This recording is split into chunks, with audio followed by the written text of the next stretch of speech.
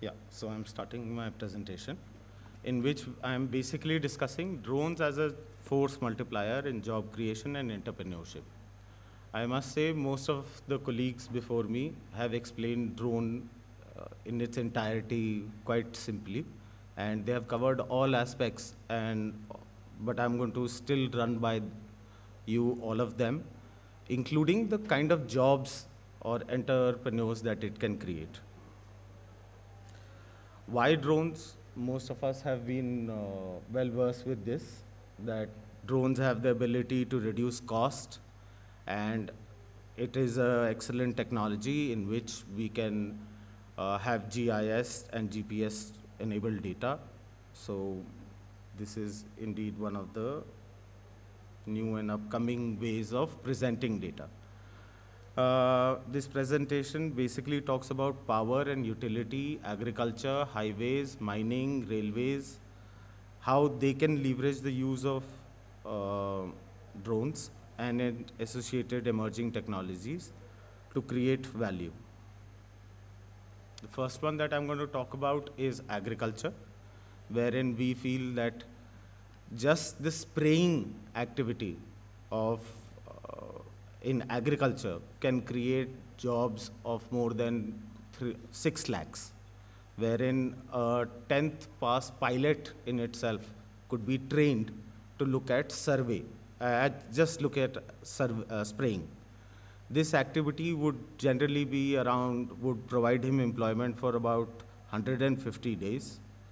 This is based on uh, uh, assumption that he would be doing at least 1,000 acres of survey in a village. And uh, that's what we've covered. The second one we are looking towards is the second level of agriculture survey and data analysis, wherein the actual user, the farmer, can benefit from all the data that can be collected using a drone and analysis is presented to him uh, basic points in that are soil data collection, crop survey, crop infestation survey, and agroforestry data. Uh, that would be separate. Uh, so these kind of data points will really help the farmer to achieve better production. And this all can be done by a drone pilot and data analysis from one of the software companies probably a tie-up would like you have Pix4D.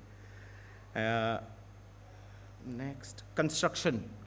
Construction uh, survey and surveillance of real estate and roadways in itself can again create up to 1 lakh jobs wherein civil, digital civil uh, site surveyors can be created who can acquire data by, by the virtue of them knowing what the project cycle is and what all uh, data to be captured, they can uh, have an incremental control on not only the cost, but also the output of the project.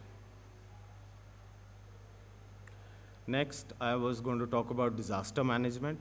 Disaster management has been touched upon uh, at various platforms, and I think so the next session is also going to be about that, wherein uh, how disaster management can be benefited from drones. I have uh, in this indicated that there would be at least 5,000 jobs that could be created in disaster management centers of various states who can have trained manpower who can undertake uh, drone uh, flying uh, under strenuous conditions even. And they know how to capture, what kind of data to capture, because at that time, uh, you know, a man finds it difficult to react. If he's trained uh, previously to perform whatever he's supposed to, he'll be in a better position to take uh, care of that.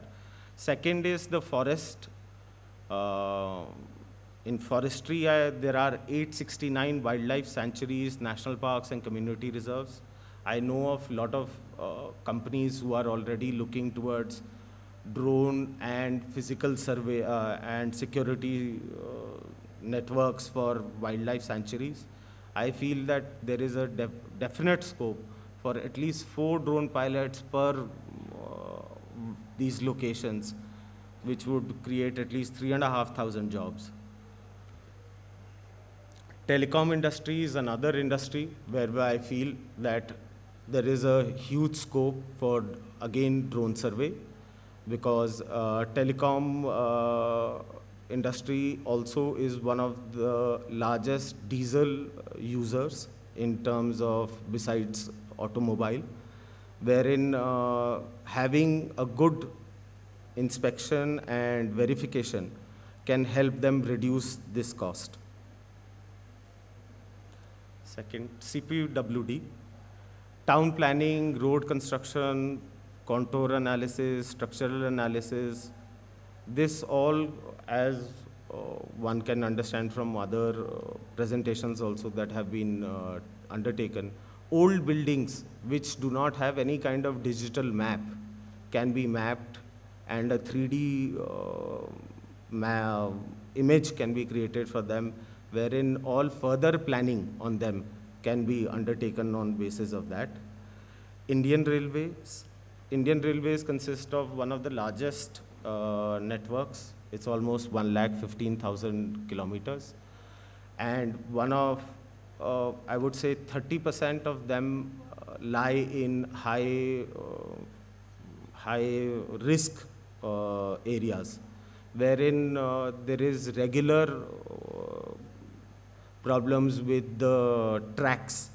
This all can be easily detected by using drones wherein drone flying can be done either at night or they can be done at a height where the insurgents can't see it and analysis can help us in detecting the same.